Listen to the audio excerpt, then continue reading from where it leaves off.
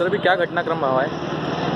अभी भैरव घाट पर टर्निंग पर तो दो बसें महाबलेश्वर और ठाकुर बस थी। आमने सामने से उनका भिड़ंत हुआ है। इसमें करीब पंद्रह से बीस लोग घायल हुए हैं। घायलों को अस्पताल भिजवा दिया है भाई नहीं अभी इस प्रकार की कोई सूचना नहीं है। एक केवल ड्राइवर थोड़ा गंभीर घायल है। बाकी सब नॉर्मल हैं जिनको चोटें आई हैं उनको भिजवा दिया गया है।